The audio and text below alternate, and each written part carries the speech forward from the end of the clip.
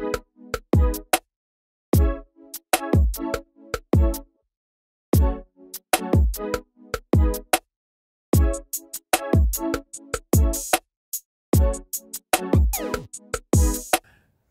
guys, welcome to the week here at the Geek Course. And today we're gonna do some pendulum sweep. And so, just basic stuff from closed guard pretty much, but sometimes the basics is important.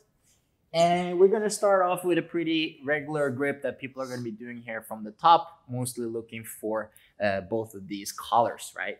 In general, you will always see people grabbing or at least posing on your chest to, to keep this frame here so that they can prevent you from breaking their posture with your legs, right?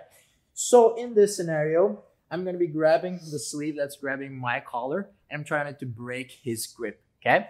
So I'm going to grab with the uh, hand across here on the top and now I'm to look to slide my hand underneath his and grab my own wrist here, okay?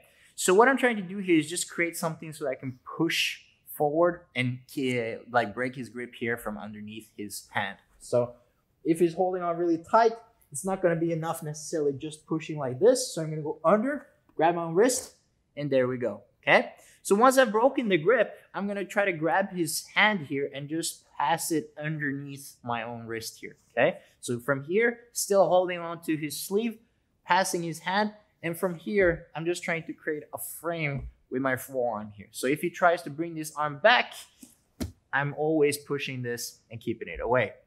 So, pretty basic, but very useful. Boom, here, and coming in here, okay? So what I'm trying to do now is to get to his back and try to uh, expose his back even more, right? And it's a combination of my legs and my hips. So I'm gonna push my hips slightly to the side and I'm gonna bring him down to me, okay? You might also notice that sometimes I like to punch with this grip. So I'm gonna turn my grip like this this way I have a slightly stronger grip and I can frame it with a straight arm. So if he tries to bring his arm back in, then he's kind of meeting my whole body with this frame, right? So by moving my hip out and bringing him low, I can now easily access the far side of his armpit, okay? And in this scenario, we're gonna be looking at the moment when he's trying to bring himself back into me. So he's gonna be pushing his way back into me, and I'm just gonna keep isolating this arm that's close to my chest, right?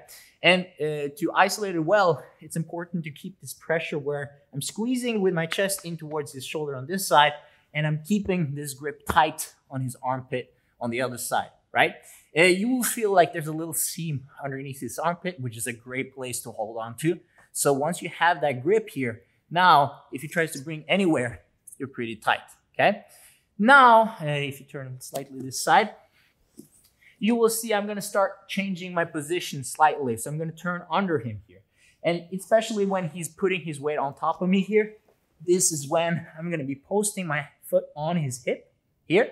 And I'm going to be looking to get underneath him. Okay. And what I'm trying to do here is to get a grip onto his thigh on the opposite side here. Okay. Sometimes you'll feel like it's too far away, then likely it's better to go for his back. But if he's really committed to put his weight on top of. Yes! Then it should be accessible like this, okay? And now for the name of the game or the technique, the pendulum sweep. So it's in the name. You're trying to create a pendulum here with this leg, right? So you're to kick up and then outwards and then create a circle down towards his legs, okay? So up and around. You could do this a couple of times just to practice, but in reality, you're just to do it one time to get the sweep. So from the position here with the foot on the hip, creating this rotation so that you're still strong here behind his shoulder. And now kick up, bring him over you, and now get him over to the other side. Whoa. So, just quickly here from the beginning, breaking the grip, pushing up, grab the wrist, pass it underneath. You could look for a temporary grip here if you need, just to like pull him down for you here. And now look for the uh, opposite armpit here, okay?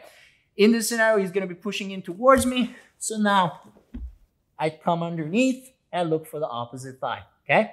So here, I'm gonna kick up, create the rotation, And it's very important, guys, that we actually get this leg here that I'm uh, throwing underneath his thigh here, okay? If this leg is underneath his back, I'm gonna be really stuck and it's gonna be hard for me to come up into a top position. So I have to have it underneath his thigh so that I can now come up all the way into the mount position safely. And you will get used to it, but most likely the guy is to be a little bit spazzy here in the beginning. So you might want to try to stay low and post your hands out just in case they try to bump you over. Okay, one last time.